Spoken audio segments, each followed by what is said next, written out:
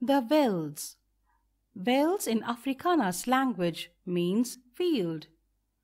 It was so called as it was an open, uncultivated country. Velds were homes to large number of grass-eating native mammals. The temperate grasslands of South Africa are called velds. A large part of South Africa is grassy plateaus, which are bound by the Drakensberg Mountains on the east. To its west lies the Kalahari Desert. These grasslands occupy plateau land that is over 1500 meters above sea level.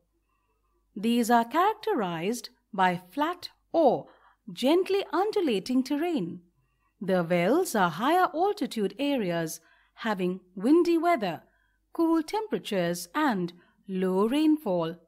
Winters are cold and dry, while summers are hot with little bit of rain. The velds are treeless and grassy with scattered bushes. Red grass grows in bush velds. In the high velds, acacia and marula are seen to be growing. The wildlife includes lions, leopards, cheetah and kudu.